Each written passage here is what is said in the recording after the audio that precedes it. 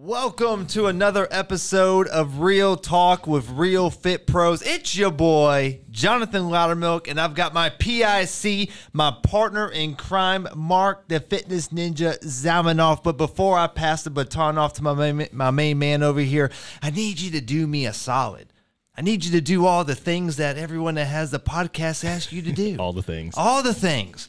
Subscribe, leave a five star review. Go ahead, take a picture, put it on the gram, tag us at Fit Pro Bros. And by the way, that name is copyrighted. If we catch you using it, you owe us a dollar every single time. It's in per- perpetuity into what we use. Anyway, now that we have that over with, I'm going to pass over to Marc and. We have a special guest in the studio today. We have a very special guest. And, you know, the title of this podcast is Real Talk with Real Fit Pros, and they don't get much realer Right. than this man here. I'm super excited to have him. And we're, we're live in studio recording this. So, uh, there's probably going to be some social media clips. You know, we had Tony Tavares on not too long ago, and I was Uh-huh. like, man, this is probably the biggest guest we're ever going to have. and uh, we we have blown that out of the water today. Um, Tony's so- a monster. Yeah, he's huge. Um, so so this young man, I'm gonna call you young man just because you're a little bit younger than I am. Sure. Um, he loves to pick up weight and put it down, and that is to put it mildly. Uh, he, him, and his wife Amanda. She is also a fitness enthusiast, and we'll get into their Shark Tank experience in a little bit, which is really awesome. You're like the only person I know that's ever even sniffed that realm, so Sure. we definitely want to talk about that. He is a five-time IFBB Pro Champ, top ten in the world. Which again, when we start talking about learning from people and success leaving clues, we're going to extract some things out of that of what it takes to really operate at a championship level because it's very rare that people have the opportunity to learn from people that high up. Um, former firefighter, correct, and medic, which Jon and I were laughing before. We're like, well, "Did you just like show up and blow on the fire?" Like, and the fire's like, "Ah." Right? uh, car enthusiast, gun lover, patriot, man. Uh, so great to have you, ladies and gentlemen. Steve That was a great intro. Thank you, guys. Jon, Marc, I'm super excited to be here, man. Thank you. I'll follow you around and just hype you up if you want. You know, like- exactly. You're hired, both of you. you guys could just do intros for podcasts. and But that- by the way, my guess with how you put fires out was the Hulk clap. You just come in and just clap, and everything just awesome. disappears. uh, so before we dive in, we always start with story time. Sure. So what do you got for us? Well, this is. I was kind of asked the question: What was a, a good gym story? You know, and and you think of uh, stuff that's happened to you, a good, bad. Um, I kind of got somewhere in the middle there because uh, something that was absolutely brutal. One of those those moments in the gym or times in the gym where you look back and you're like, man, that that almost killed me, but it made me stronger at the same time. You know, and I think a lot of life lessons that we take it, that kind of is the the big uh, take home to it, but. So I actually train with a, a female trainer. Uh, she's a uh, previous, a retired IFBB pro bodybuilder. Competed in the early 2000s. Gina Davis. She's out of uh, Oklahoma, and a lot of people are like, "Are you training with a chick?" Like, what? And like, no, no, no. Just look her up online. Gym Force Training. You'll be like, okay, that's next level stuff. Um, and I think she she enjoys torturing men, especially uh, guys my size. So she trains with a lot of women and a lot of big guys, and um, I saw her take some average uh, competitors and make them really good. To me, that's impressive. Everybody can take a, you know somebody with elite genetics, train them and, and just try to make them a little bit better and still be an elite, you know, even more elite. Right. But you take a piece of coal, turn it into a diamond. I'm impressed with that. So it was uh, she was coming down to Dallas. I said, let's get a training session in. Well, that same weekend was uh, it was about a year after I was we had our Shark Tank experience, and Daymond John was coming down to speak and invited me out that Friday. We're supposed to train with Gina Saturday, so. When Daymond invites you out, you do whatever he says. Hey, we're going to come out to the uh, event I'm speaking at, and then after we'll go out to dinner, and then probably after have a few drinks, club, whatever. I'm just going for the ride. This sounds great you go out with him, you know, it's VIP everything. Tables, you were in a limo. I mean, it's fantastic. And then I look and I'm like, man, it's two o'clock and I got to be up at like eight. She wants to train early, like eight or nine or something like that. I'm like, this is going to suck. I'm like, I can do it, you know? Um, so the next morning gets comes around. I really don't feel like getting up. I get up, get there. You know, she's like just she's a ball of energy. She's like 100 miles an hour, 8 a.m. ready to rock. So I get in. She's like, "All right, warm up." And then I see her setting up all this stuff, and I'm like, "Oh, this doesn't look good." and uh, I mean, I can hold my own in the gym. I'm not a I'm not a puss. I'm not gonna, you know, back down to any challenge. And um, so she she comes up and she's like, okay, this is what we're gonna do. She's kind of lays it out. I'm like, okay, you're joking, right? She goes, no, no.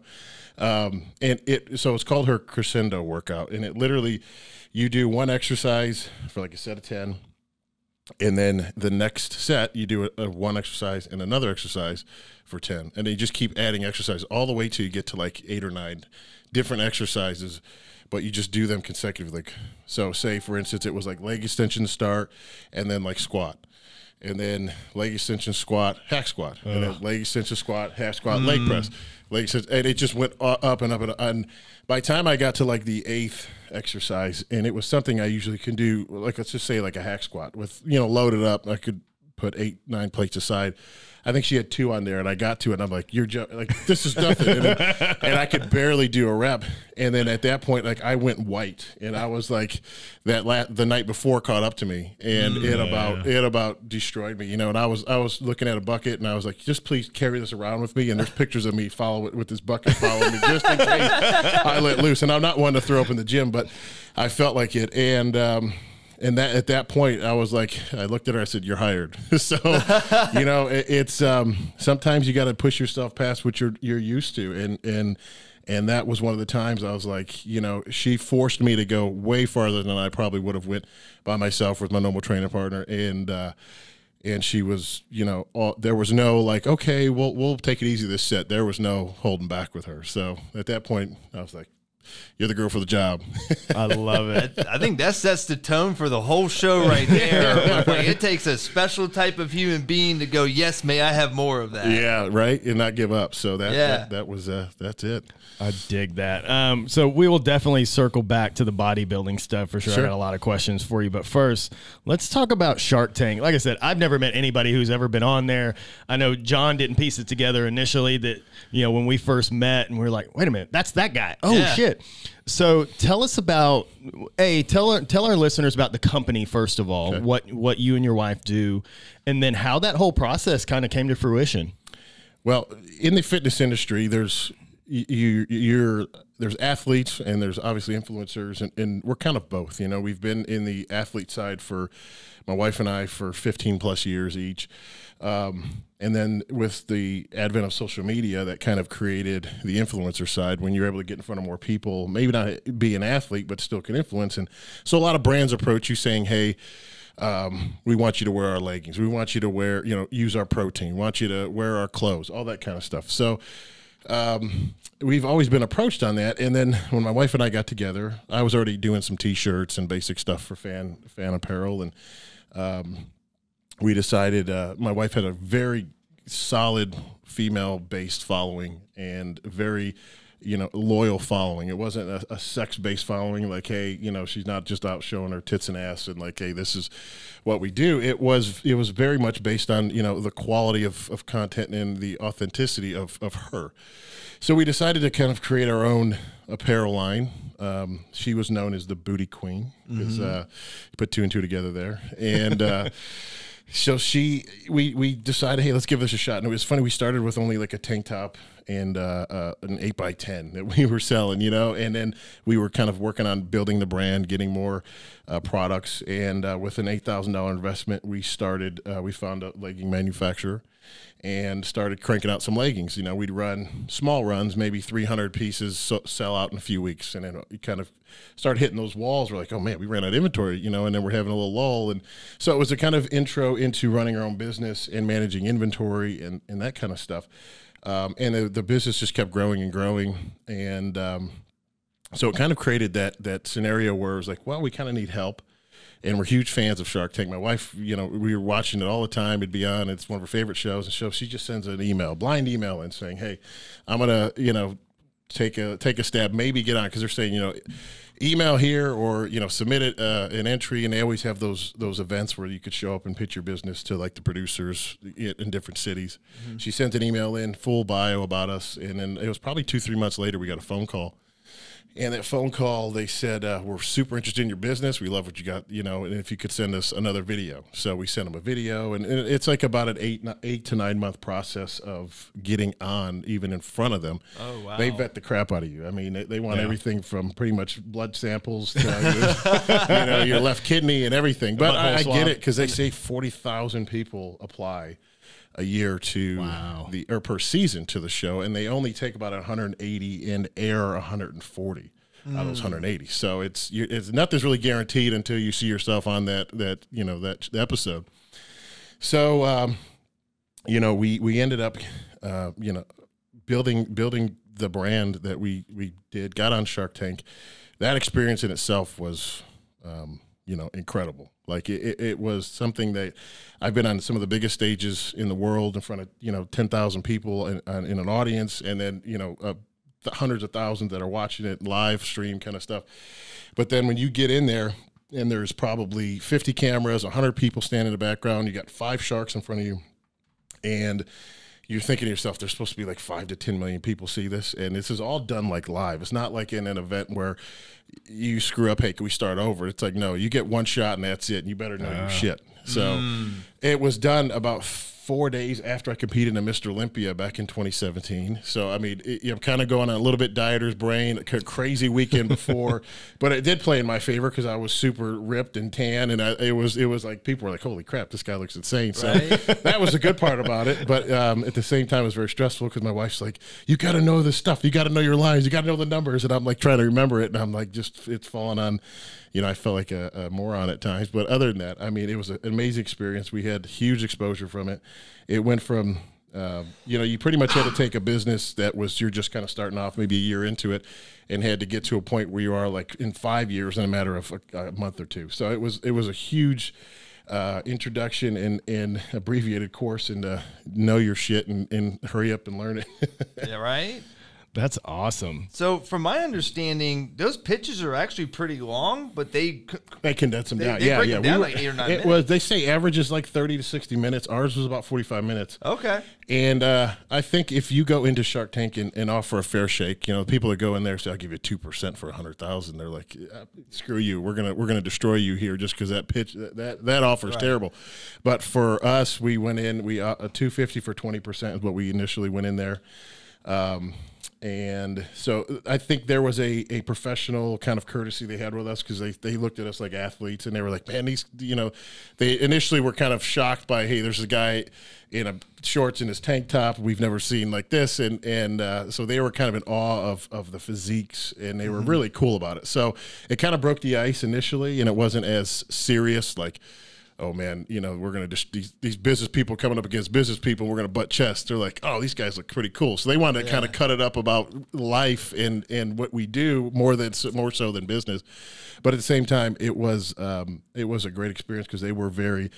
Um, they were they were good to us, you know. I think you see some shows where they destroy people, and and my fear was like, I don't want to either forget because the initial like two minutes, it's kind of like a pre-rehearsed pitch that you have to know. Um, so I didn't want to screw up my lines, you know, number one. And then when they asked me a question later in the show, I didn't want to actually just draw a blank face and be like, uh, I have no idea. Right. you know, because that can happen. You see people there that they just hit like hit deer in headlights and you're like, oh man, I feel so bad for that person. Uh-huh. But for us, um, it went really, really good. And, and even, you know, getting the deal with Daymond and uh, I guess you could say winning the show was a, uh, it- was definitely something that's been an amazing resume builder.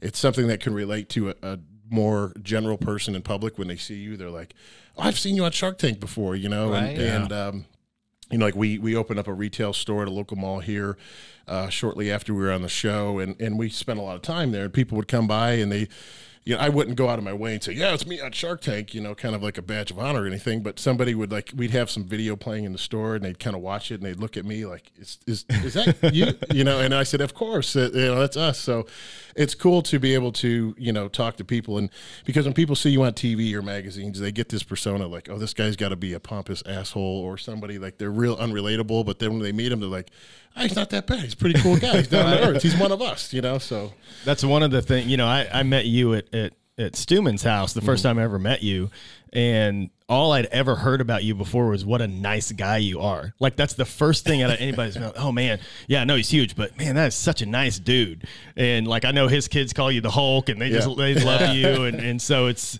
you know I love seeing nice people win. Yeah. you know that's always a little Same way. bonus in the business realm. Mm-hmm. So uh, I, I, I love that story. So where's the business stand now? Um, a- a- as far as where it was then, where it is now, and where it's going. Well, it, it you know when so it took about six six to seven months when we initially filmed from when we actually aired. So there was a little bit of time, but you, they you still aren't guaranteed that during that time. Like you still They can not- still cut it? They can still cut it, or if they say, say for instance, if they say you're going to be filming uh, or, or airing Friday, April 30th, that's going to be your air date. And a president comes on, or there's a natural disaster or weather or something that could completely cut the episode, and, and they consider that not airing. And and it really is the case because the episode just goes black, you know, and, and so that was a fear of us. Um, so after we air, you know, we were trying to ramp up production, get stuff ready in, in anticipation of us airing. We we did. It was a little bit delayed, but you know that's that's kind of a guessing game because you're like, well, we got a product. We, you were obviously a female baseline. It's for for women's fitness apparel.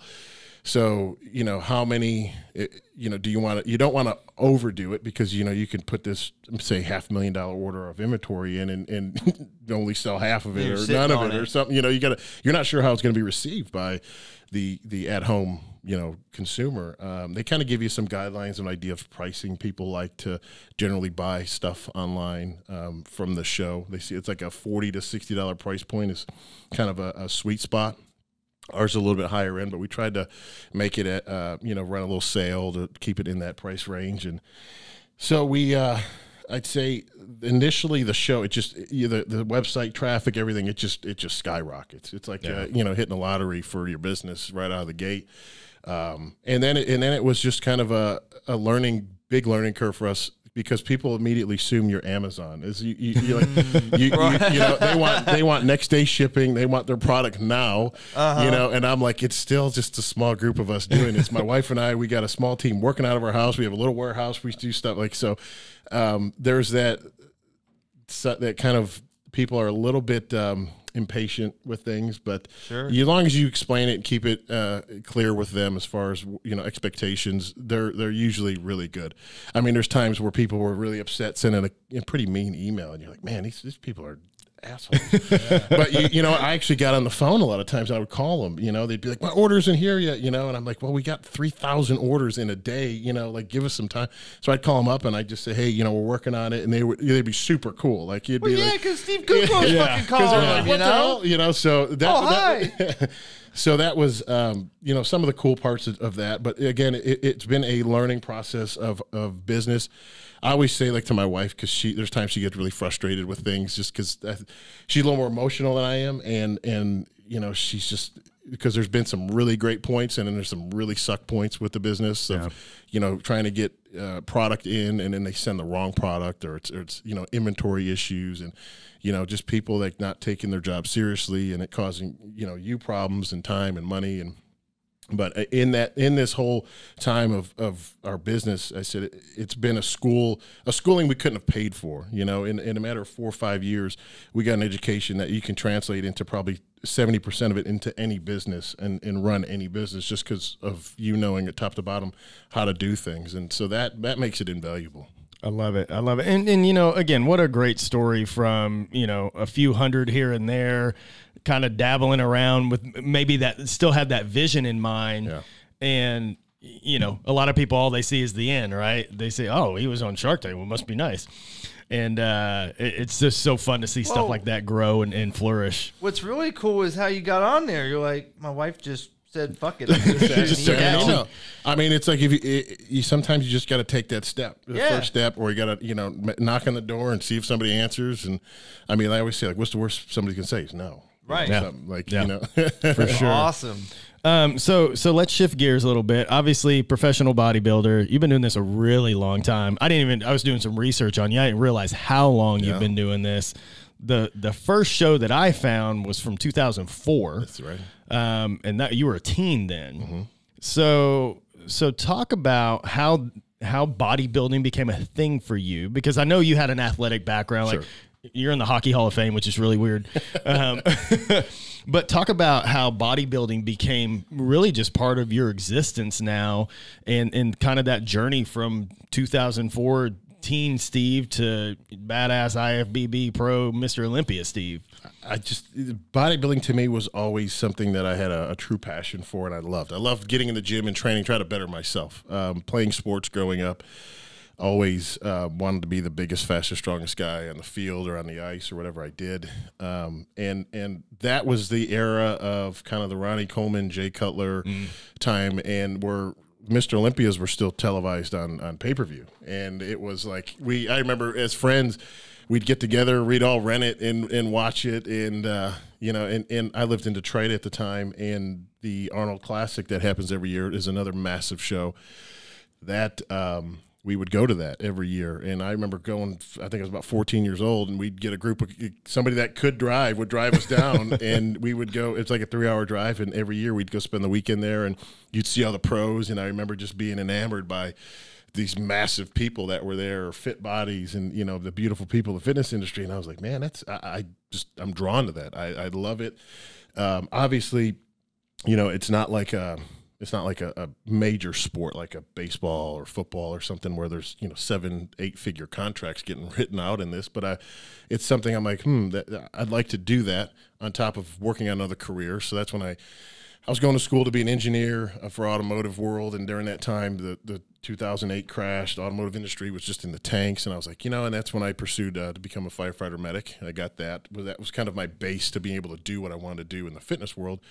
Um, from there, it, and I started competing in 2004. Did really well, and it was kind of one of those things. I always thought I had to be like Ray or you know Ronnie Coleman or Jay Cut like Mr. Olympia to get on stage. It was kind of a fear, like you know, well, I'm a little 18 year old kid, like I'm not near as big as I need to be. Well, I think anybody that wants to be a you know just succeed or continue to grow, like there's always that can I get there, you know, mentality and and um, so just somebody that competed that I was at a local gym mine, it's like you need to just do a show, just just get with a coach and my first training partner was actually a coach and he helped me out and, and justin harrison just was a huge like help for me. And um, so he laid out a program for me. I, I literally followed it to a t and he and uh, and had won the teen and the teen division and then like a the the place third in the open men just in my first show you wow. know? People like you got something so, in, coming from athletics, my parents are like, "This bodybuilding's weird. Like, it's just a different culture, you know. right. Like, these people that are walking on stage half naked, like looking, you know. But they got it. Like, they understand the competition aspect of it. My dad's a big competitor,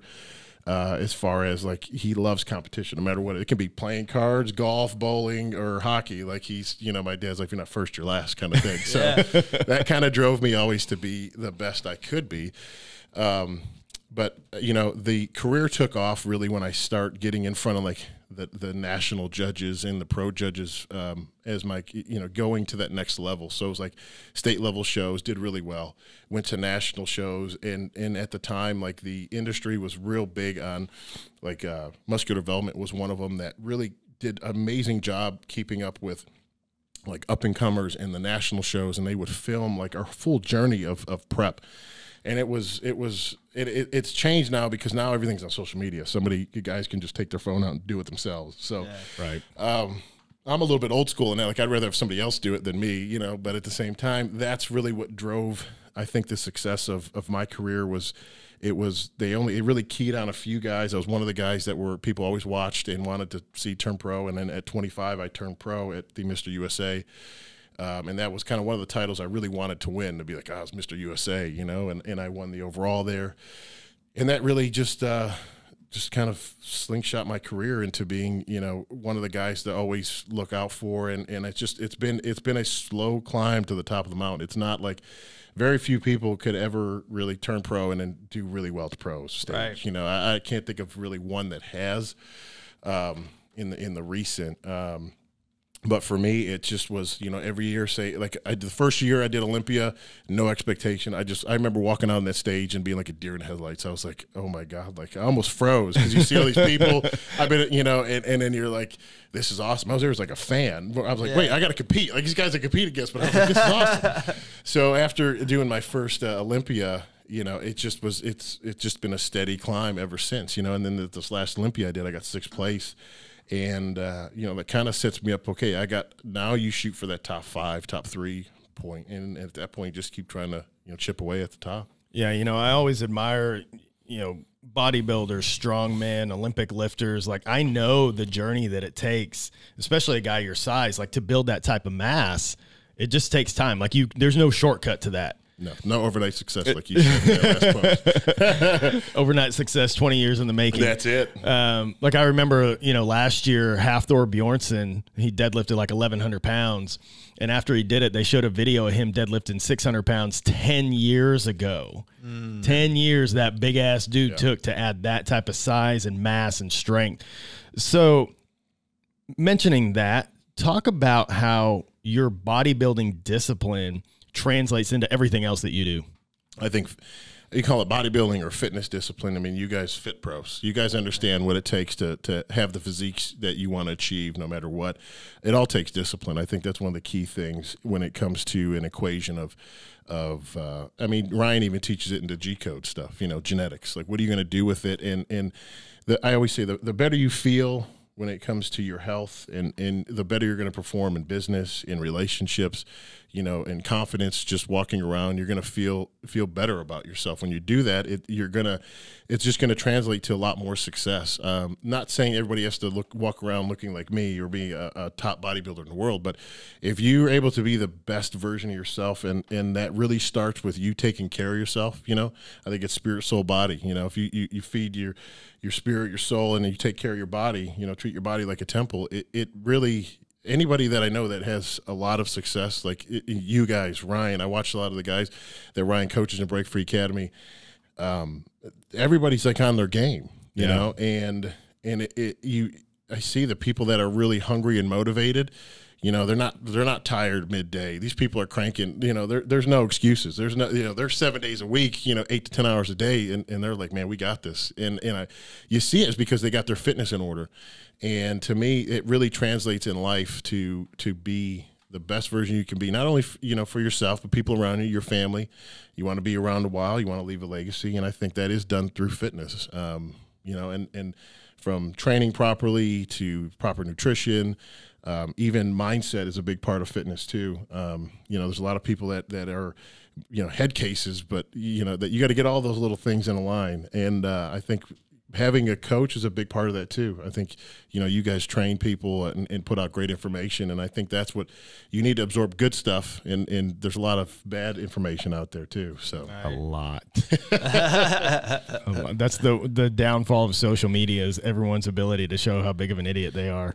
Oh my gosh, uh, yes, yeah. I always call I always, the new thing now. I say is like there's Instagram bodybuilders where guys will go film one set or, and then they barely train or you know they they they just kind of it's the yeah. There's the Instagram bodybuilder and there's people that actually apply that through their whole Right, right. You know. So so you have your own show. yeah Like you have your own bodybuilding show that you put on. Yes, sir. So what prompted you to create that? And and honestly, like what goes I have no idea. Hmm. Like what goes into something like that of, of promoting it and who are you trying to draw into that competition?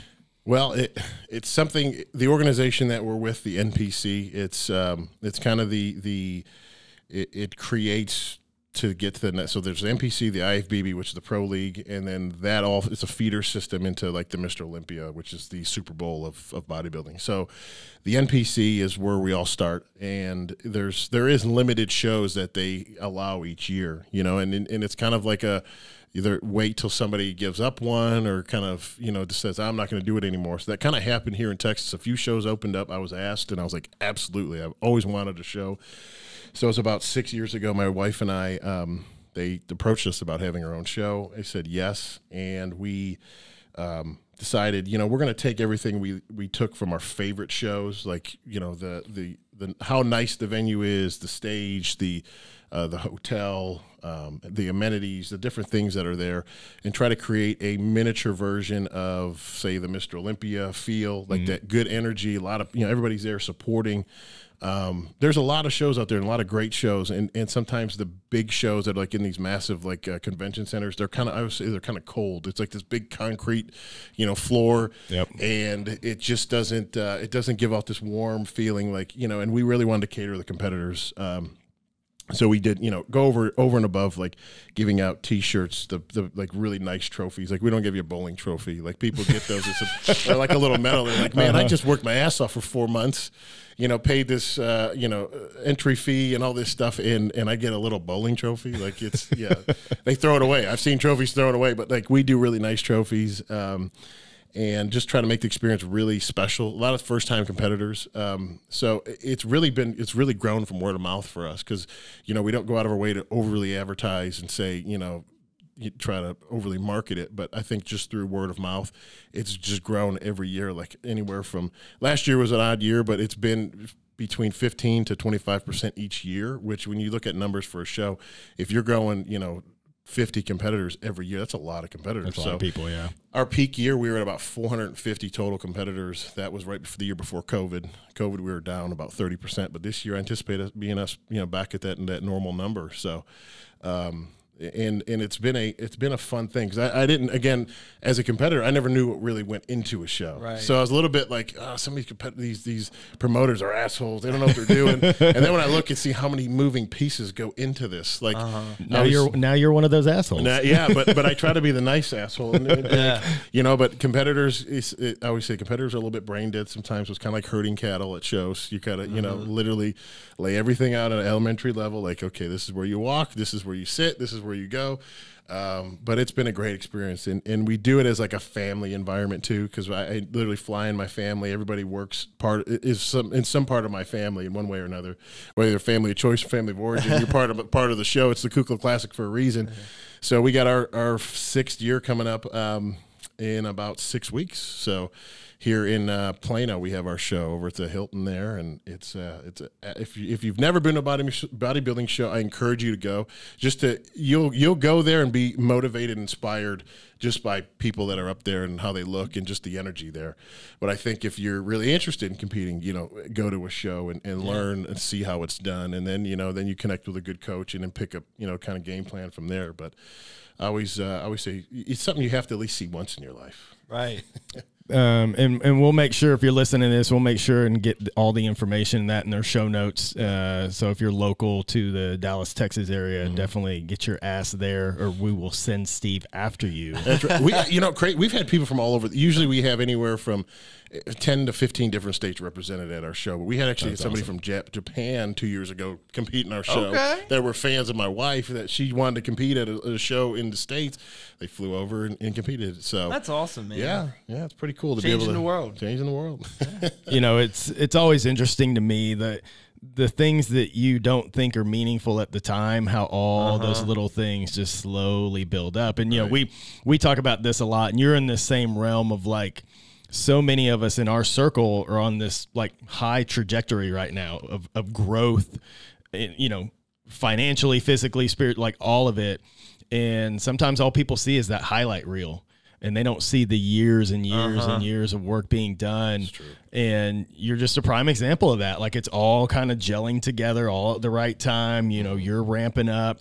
So, so what's next for you? Like, you know, when you you wake up in the morning, and other than you know you're going to the gym, like And eating something. and eating a, lo- a lot. Picking up weight, and putting it. Yeah. like what's the driving force right now? What are you what are you working towards and what motivates you to keep moving in that direction? I, I think at this part of my career, I have a few major goals. I, I, I want to win one of the major tournaments. I've been a five time champion. I've, I've won some really big shows, but the two shows that kind of are the the uh, the legacy shows, I'm going to say, are the Mr. Olympia and the the Arnold Classic. The Arnold Classic might not happen this year. I think just they've had issues with it being in Ohio. The one it's the big one that, that they have. They have several throughout the world, but that's like their their staple show. They've had it for 40 years. And I just think that with everything that, ha- like last year, it literally was the week before everything shut down was we actually competed at the show. uh, they actually were able to have the show because it was in the middle of like stuff starting to shut down. And a week before, they told us the show wasn't going to happen, and we're like, we just trained our ass off for three months, and you're going to pull the plug on us. Like it was, it was kind of like a you know roller coaster of emotion. Um, but we ended up they ended up allowing the they canceled the expo, which is like one of the biggest expos in the world. They have three hundred thousand plus people that walk through that expo a year mm-hmm. or th- over the weekend. And then the show they gave it a green light, which was great. But they limited it to family initially, and then they opened it up to you know it was a packed auditorium. It was awesome. it's just you know the energy at those shows are incredible. Um, so the goal is to win one of those two shows, um, and I feel like I'm really close. The Arnold, I got third, um, and the, you know Mr. Olympia got sixth, the last one they did. So I'm kind of right at the cusp of, of pulling off one of those victories, um, and then you know just kind of continue to build the the brand of, of who we are. Um, you know, we have our shows actually. So I, I have three shows now. I have one in Texas here in Dallas, and then we grew one. We have one in the Midwest. I have one in Michigan. So kind of where I grew up. So it's cool to be able to kind of put on a show back where I, I grew up. Nice. Uh, and then I have one in uh, Cheyenne, uh, Wyoming. So it's the Yellowstone Classic too. So it's uh, cool to see that stuff grow. Um, you know, and at this point, I'm kind of looking. Okay, it's I am in the later part of my career. I'm 35, and guys usually compete to the early 40s. But I, you know, kind of that 35 to 38 is kind of the sweet spot of a lot of guys' careers. So I'm like, mm. okay, I got a few years to let's just put everything on the table and just go all in. And um, it's kind of where I'm at with that. And we're, you know, my wife and I, I'm, I'm always kind of looking at opportunity or, or, what could be next, you know, with, with business stuff. Um, I think most of the stuff we do is around the fitness industry. Um, and that's that kind of key. It's not like I have to always, you know, change tracks and be like, okay, I got to focus on something that's say, can roofing. A lot of roofers I know here. Tony, uh-huh. Tony's one of them. Now I got to think about roofing and then go to think about fitness. So everything's kind of around the fitness world. Um, so I think the uh, the next steps for us are, you know, I'm just sort of trying to think, okay, what what's after bodybuilding, you know, and, and it's not a, it's competing isn't a lifetime thing. I think obviously fitness is. So there's a lot of stuff we do that well carry on after. But for me, it's like okay, you know, where do we go business wise from here? Um, so that's that's where I'm at, and that's kind of why I, I, partake a lot in stuff with, with Ryan and you guys at Break Free, and it, it allows me to think about okay, what are my next ventures that that we're going to do here. Yeah, and again, I, I think you know your longevity, your influence, your success, like whatever that ends up being for mm-hmm. you you're going to be successful right. at it. It's just one day something's going to fall in your lap and you'll be like, that's it. There we go. Let's, Let's roll. and uh, and again, all the work that you've done is, is going to propel you to that next level, mm-hmm. which is mm-hmm. super, super awesome. Um, what else? Do you have anything like you really, you really want to like hammer home to people? Because again, like there's such a, I, I always go back to, it, but there's such a discipline uh, not just working out. Like Jon well, and I talked about it earlier. You. Like you guys, you guys fire some questions at me, like some things like you may want to know, or you feel like you get asked a lot from your your fans or, or audience. That, so that's on there. I'll start, man. So yeah. there's a lot of trainers I meet on the, the wonderful interwebs that you know they want to be bodybuilders, sure. and they're kind of like what you talked about the Instagram bodybuilders. They're yeah. not really there, but they're trying to position and pose, and mm-hmm. you know, versus you know, there's a lot of trainers that want to build a real business and actually help people and teach them the right principles, but right. they feel like they're being drowned out by the IG bodybuilders that clearly we know who actually knows their stuff versus yeah. not. What would be your advice to the real fit pro out there? That's a good question. Um, see, a lot of guys there's there's trainers, and and I had this realization not too long ago when I was sitting with a really good friend of mine, Jeff Dwelly. I don't know if you guys ever met him, but he's a local trainer here in Dallas. But but a lot of guys use training to kind of help them build or get to where they want to do with their career as like say in bodybuilding or some kind of fitness venture that they want to do. It's not like they that that the, the training part is is their their kind of what their route is of what they want to do you know? It's just like oh i'm going to do trainer to allow me to do this so a lot like like you Marc you know you you're your studio your that's your that's what you do like that's that's kind of what what you've built off of and and to me it's i think two things you got to look at to what a, makes a good trainer like you don't want a trainer that's 400 pounds fat ass that's just telling you what to do. Like I, I think the trainer should at least look the part. That that's kind of the quick vetting part of, of picking good trainer. Yep. And um, number two, if if they really are involved in their in their clients, and I, I, think it goes beyond just you know seeing somebody that may have had success on a bodybuilding stage or you know just uh, there's a lot of people out there that do one show and all of a sudden they're they're like a trainer or a, a you know a prep coach, and I'm like, you've done one show, you have no idea of the different body types, what it takes to really get to those levels. Um, I mean, I've been doing this for like 17 years, and and I understand the human body how it works, and I've seen a lot of different bodies. So I, if I wanted to train, I could, but you know, I I always say it's a dis. I, I can't give the time that it would to really Right. give to people to to uh, say I'm going to train them, and um, I, I think picking you know kind of to to to really nail in on, on what takes a good coach like see see results that they have accomplished with the other like other clients. Like i say vet the, vet the trainers you know see um, and a lot of trainers that are good at, at promoting themselves about what they've done they've showed like amazing before and after stuff. They, they've been doing this a long time you know. I, I if number one asked them how long you've been doing this? If somebody said uh, six months like yeah maybe start look look at some other places. But people that have a history of of really uh, working with people from all body types. Like, just don't look at somebody that's just training competitors. Like, take somebody that's that's training your average Joe and making them look good. And to me, that's impressive. you know? Yeah. I love it. I Turn love it. coals into diamonds. that's it. Here we go. Walk us through a typical day from from the time you get up till the time you put your head down. Okay. Um, especially, I try to. I think routine is is really important for anybody. Uh, from business or just trying to get in better shape, I think your our bodies love routine and love like the same times and stuff like that. So, I'm I'm a creature of habit somewhat. I, I'm not, you know, I'm always okay with changing things up a little bit, or if I have to make a, um, you know, little audibles here and there. But you know, I like consistency with things. Uh, for me, I like to wake up around the same time each day, and it's usually around the, s- when the sun starts rising. It's kind of when I feel like my body just, and I kind of just naturally start waking up. Um, so I, I follow the sun a little bit, not like a or anything like. Nothing but wrong with that. That's kind of you know when the sun sun starts coming out, I feel like okay, I'm up. Um, I get you know I always start my day, have my coffee, to, you know have have I always talk to my I think I spend time with my wife and we kind of talk you know have have an attitude of gratitude to start our day. You know get kind of start on the right mental foot. Um, you know, sometimes we get in the Word, open up the Bible, or, or we just kind of, I want to hear what's on our heart. Um, and that's, you know, the relationship we're able to have and, and do everything we do together is because we always understand each other on, on a lot of those kind of levels. Um, so from there, you know, I'm always thinking like as the bodybuilder, I'm always thinking, okay, I got to eat this many times. I've always got this timer in my head. I'm like, okay, it's it's uh, eight o'clock now. I had my coffee. Now it's either you know, if I'm prep, I'm like, okay, I got to get in cardio, maybe for a half hour, do some cardio, and then I got to eat after that. But it just seems like I got this timer, mental timer. Like I'm like, okay, it's been an hour and a half. I got uh, another hour or something before I eat again. Uh, so I typically like to eat uh, right now five to six times a day, and that's kind of where I'm at when I get ready for shows. It's maybe even more, like six to seven when I'm like in show prep. And it's a job just eating. Yeah. That's a thing, you know. And but in the same time, you know, we do a lot of other stuff. So I'm I'm involved in a lot of the logistics part of the the apparel business and like the back end stuff.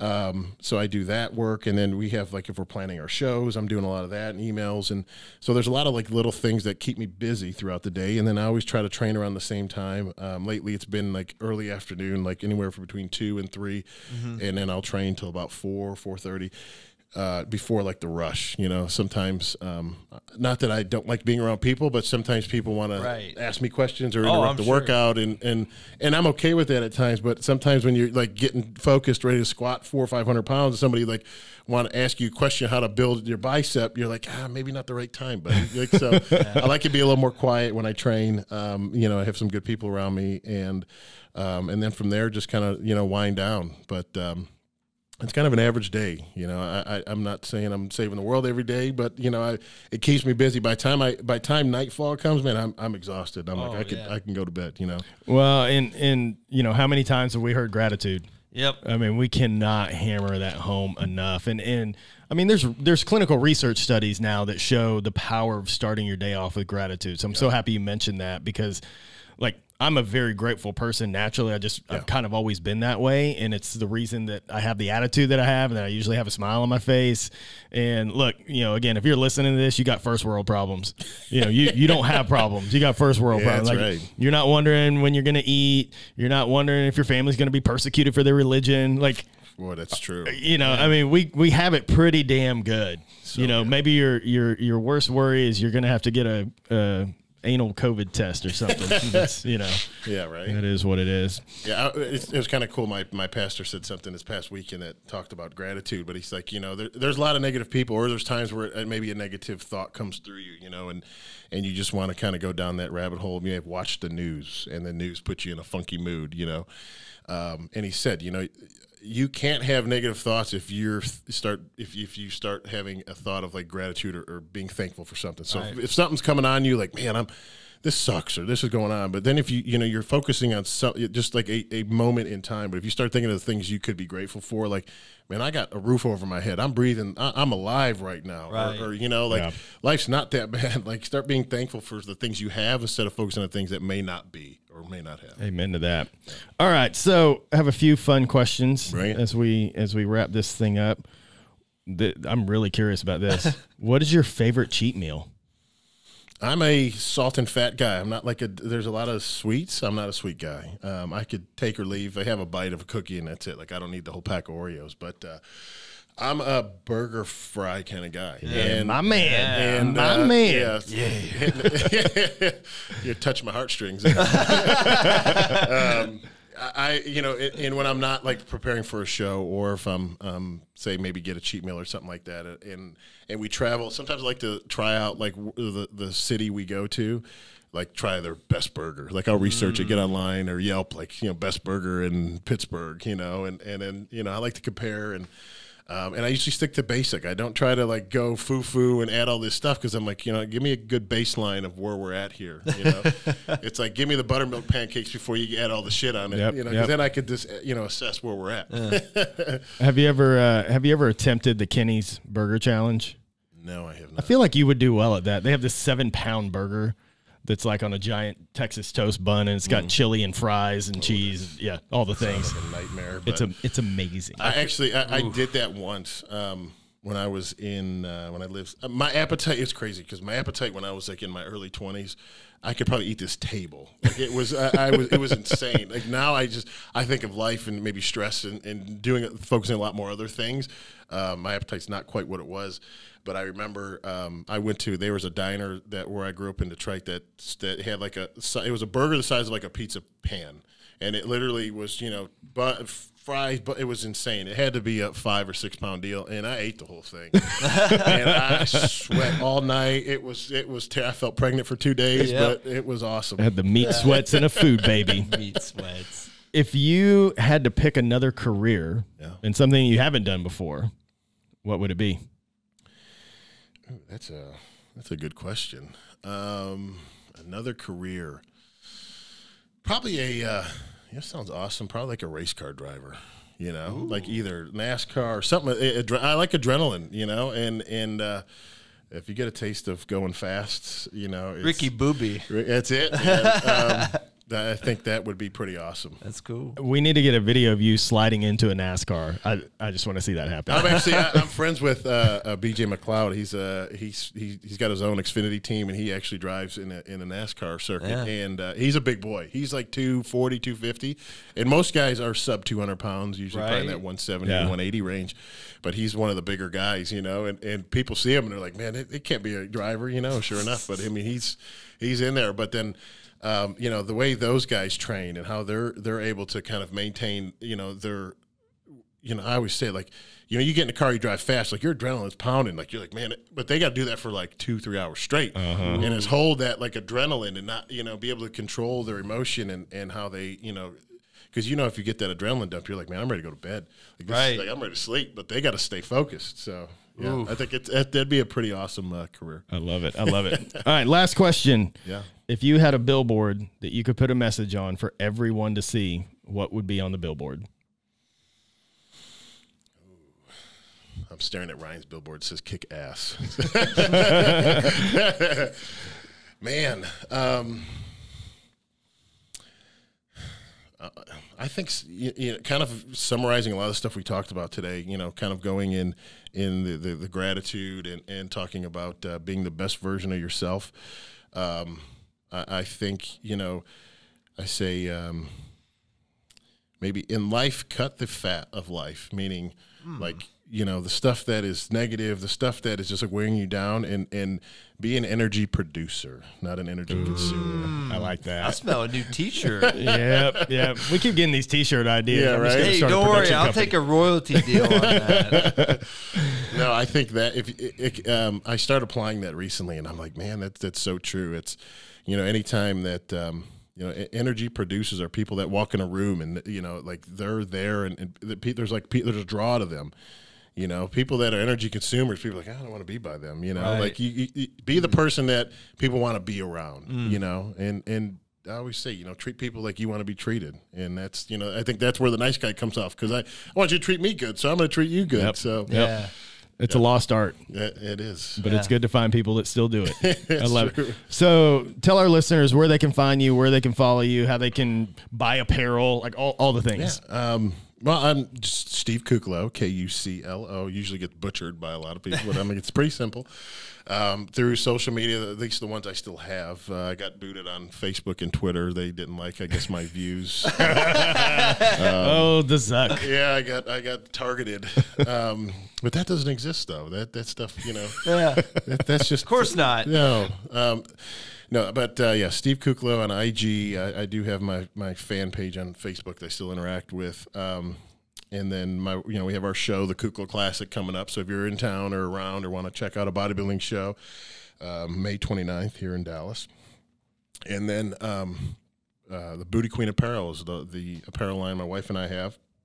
So slowly, uh, we're just continuing to grow that and figure out you know the direction we want to take that and and um, that's that's kind of what we do you know right now. And then we got you know Ryan's event coming up MDM that Yeah. we'll be speaking at too. And it's cool to be a part of uh, what you guys do. And uh, you know I'm honored to be involved in a lot of you know I could I see like work again when you talk about fitness and how it carries over a lot in life um, I'm I'm seeing it now. Like you know I think being able to speak on success of life, but how I've done it just through that's that grind, like grinding it out, and and uh, you know, able to encourage people that may not be wanting to compete, but in business, and like, man, okay, you could see where where grind and work ethic really takes place in life, and how important it is to have. So, Awesome, man. Dude, thanks so much for coming on. Absolutely. I appreciate the man, shit it was out a of blast. No, you guys gave me the the mic. I never talked this much, but yeah, that is the goal. That's the goal. Um, yeah, thanks, man. You know, uh, again, I'm just,